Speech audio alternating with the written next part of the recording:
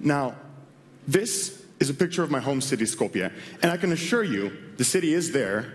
You just can't see it because of all this smelly fog.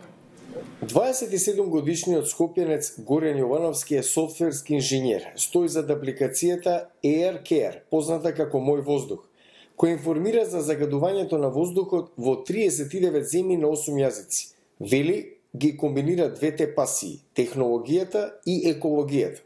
Горен, што е Air Care?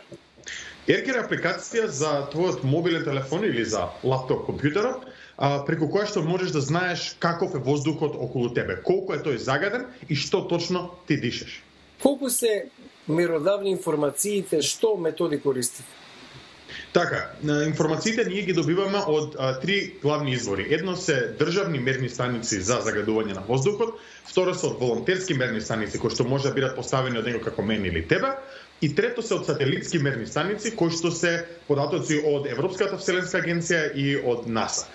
Така што зависи од сензорот, може да бидат по сигурни или по несигурни, но гротото на податоци што ги имаме ние директно ги валидираме компјутерски и знаеме дека се точни и ги даваат вистинските вредности.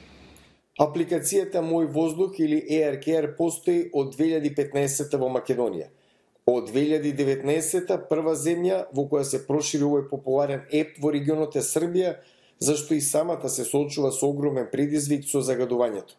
Зошто е битно во денешно време да се интензивира борбата за поголема гласност за почист воздух? Што е во залог? Светот е во залог светот. Климатските промени, загадувањето е една од последиците кои што се случуваат поради тие климатски промени што ги имаме. Целиот свет, не само ние како држава, мора да ги смениме нашите навики и мора да пристапиме кон една зелена и почиста иднина, доколку сакаме да обстоиме како човечки род. Затоа е навистина важно и битно да ги посветиме нашето внимание како индивидуи, така и како целосна, целосно општество и сите држави кон решавање на проблемите и со загадувањето, но и со глобалното затоплување. Последна надодадена земја за мерење на загадувањето на воздухот е САД. Дали Калифорнија и натаму води со непопуларниот тренд на загаденост? Дефинитивно, дефинитивно. Калифорнија поради а, пожарите кои што имаат избумнато ни шумите во околината е многу многу загаден овој период.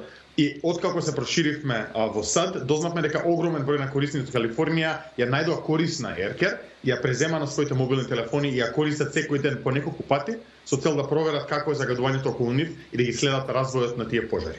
Која е твојата порака до политичкиот естаблишмент за активно вклучување во поголема свест за загадувањето? Мојата порака е едноставна. Сите го дишеме истиот воздух. Нема некој кој што е попривилегиран и дише почист воздух од друг.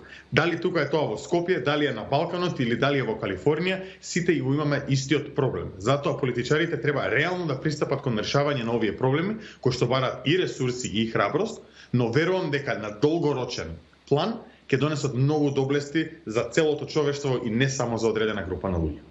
Доколку сакате да се информирате за загадувањето на воздухот околу вас во вашата околина, не само во Македонија, од сега и во САД, симнете Air Care, бесплатна е. Ти благодарам за интервјуто и за одвоеното време. Исто и на тебе ти благодарам.